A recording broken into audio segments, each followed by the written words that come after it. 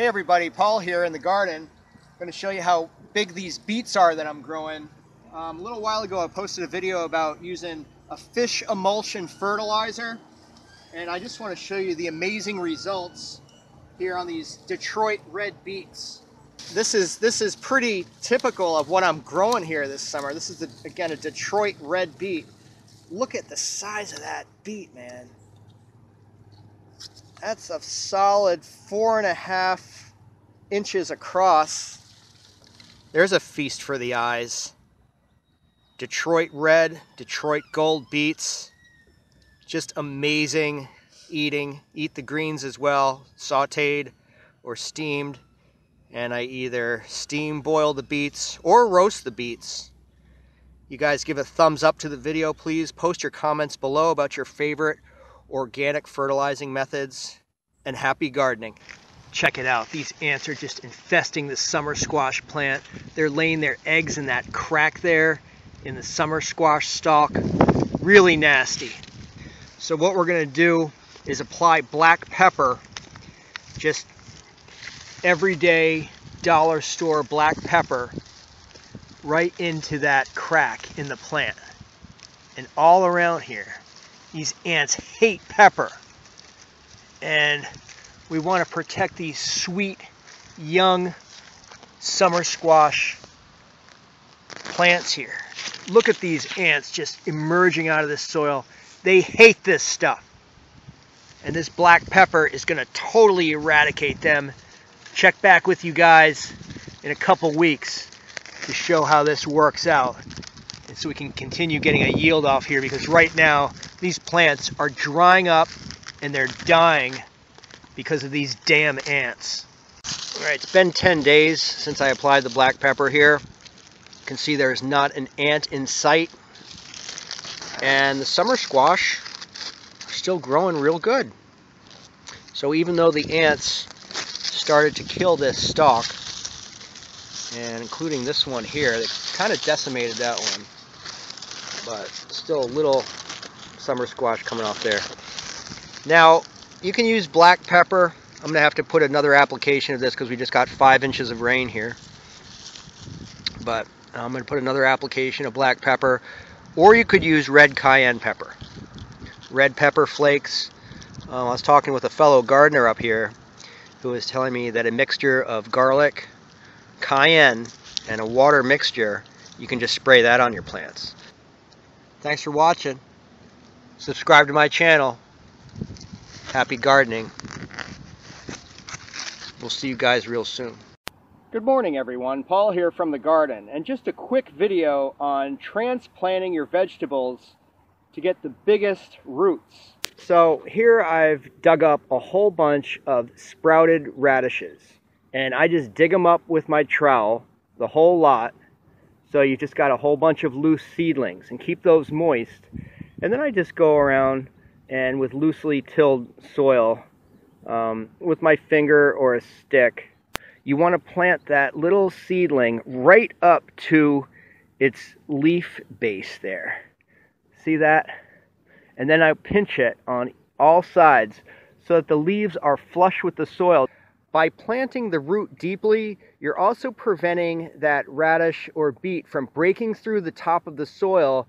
And when that happens, you have to keep mounding it over with dirt. So getting them nice and deep to start with will ensure that these radishes will mature really nicely below the soil.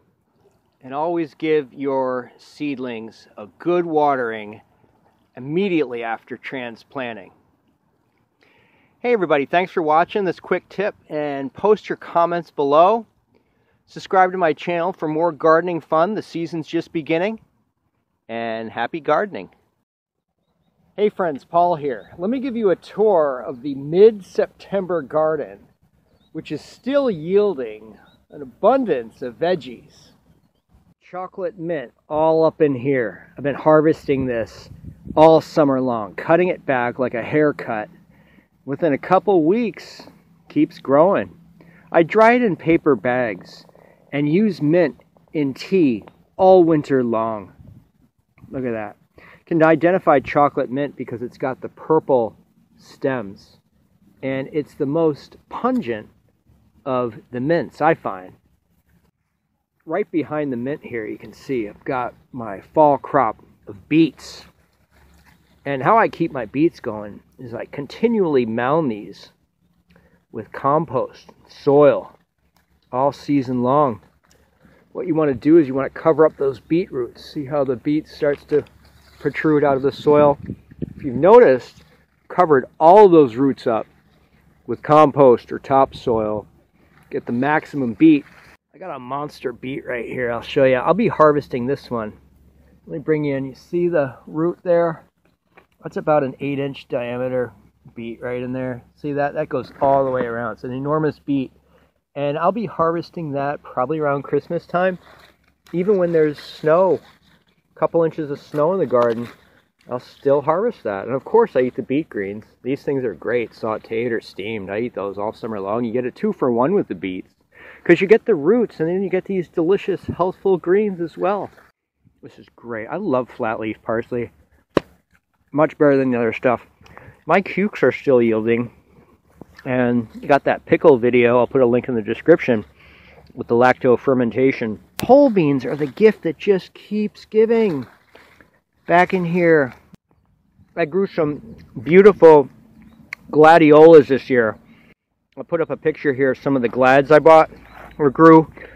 First time growing these, absolutely beautiful. It was like a beautiful peach color. These are my Chater's Double Bloom Hollyhocks, which have gone by, but here's a picture of what those looked like earlier this summer. This is one sun gold tomato plant, all up in here. Look at how far this one sun gold plant Covers about six feet long in there. Absolutely amazing. And including over here.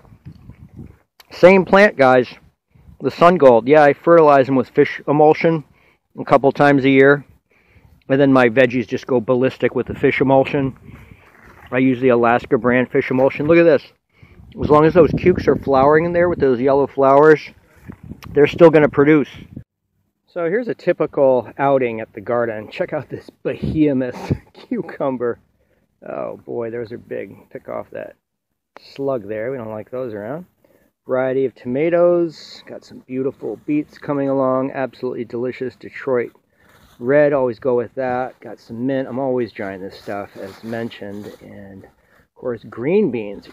You guys, thanks so much for joining me on a beautiful mid-September afternoon as the garden is still thriving. Please post your comments below about early fall gardening, enjoying your crops. Please comment on any of the varieties of veggies or flowers you've seen in this video. And have a great day. Hey everybody, Appliance Paul here in the garden. Check out these hollyhocks this season. Been getting a lot of compliments on these a lot of fun to grow. Actually growing Chater's Double. This seed right here. If you're coming closer here, you can see that they've got a beautiful double bloom, which is uh, more, it's richer, fuller than the single bloom hollyhocks. Double bloom, all the nice frilly, ornate center, and the single bloom, which is your traditional hollyhock, even in these uh, Chater double mixture, you're going to get some single blooms, but they're still beautiful. In windy conditions, these can get blown over. So what I'm doing here is just um, tying these off. I kind of like this bamboo. You know, it's very thin and aesthetically it doesn't really take a lot away from growing the flower. And that'll give enough reinforcement for that stalk to remain um, good throughout the growing season. Rust is the bane of hollyhock leaves, and you're just going to provide better nutrient to the rest of the plant by getting rid of these rusted, blighted leaves. That's pretty nasty. I think that's some kind of blight right there. But you want to get rid of all that stuff and that's going to help the plant grow healthier. You can also see I've mulched up around the bases of these plants. Um, this retains moisture in the plant and also is going to add nutrients throughout the season because As you can tell, these are pretty big plants and they need lots of nourishment. Are you growing hollyhocks in your garden? Thanks for watching. Post your comments below and happy gardening.